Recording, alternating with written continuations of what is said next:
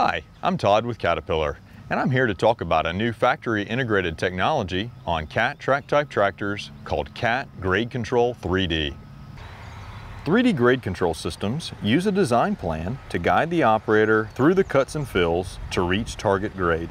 CAT Grade Control 3D is an optional factory integrated grade control system that is available today on select new D6, D8, and D9 tractors and coming in the future on additional models.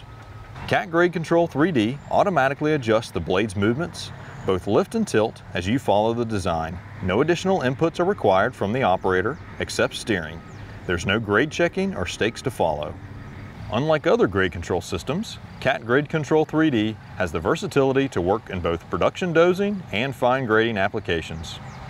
The CAT Grade Control 3D system is optimized to work with other dozing features, like auto carry, which matches blade loads to ground conditions to improve load consistency and reduce track slip.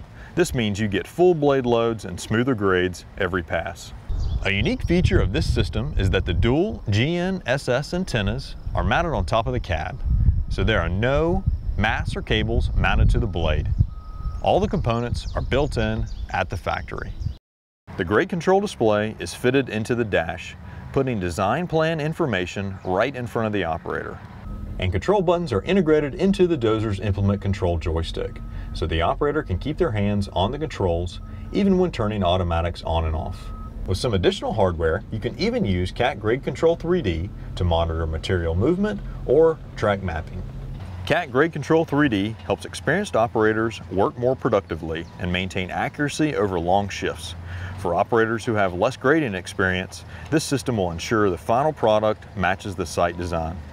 Contact your local CAT dealer to learn how CAT Grade Control 3D can help you.